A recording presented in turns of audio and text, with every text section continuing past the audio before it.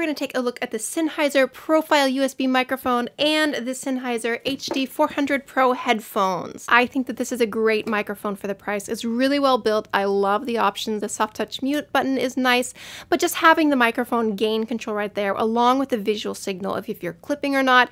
Though to be fair, when I did vocal warm-ups and a little bit more testing, it did not show me that I was clipping, but I heard that I was clipping. So it has to be clipping pretty hard for it to change to orange. However, for teaching music lessons online, online. This is a great mic, especially since it's easy plug and play. I like these headphones. I always use headphones when teaching online. That way I'm not sending back signal into the microphone.